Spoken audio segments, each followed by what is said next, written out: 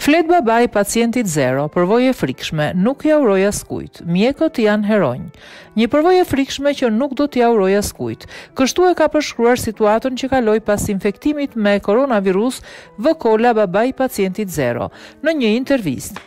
Ai ka falenderuar mjekët e spitalit infektiv Për kujdesin, prej dhjetë ditësh së bashku me të birin ndodhen të shtruar në këtë pavion. Situata shëndetësore e djalit është e qëndrueshmë ndërsa ai vetë pret analizën e dytë për të konfirmuar shërimin nga koronavirusi. Desha të falenderoj stafin e spitalit, na kanë shërbyer në mënyrë të shkëlqyer.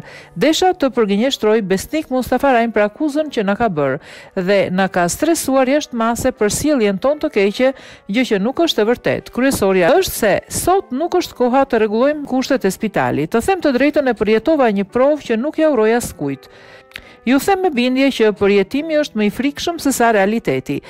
Më shumë është frikë, ankth që vjen nga lajmet nga mediat. Unë e quaj grip normal. Terapia ka qenë që ne merrnim një herë në dymbëdhjetë orë ilaçe.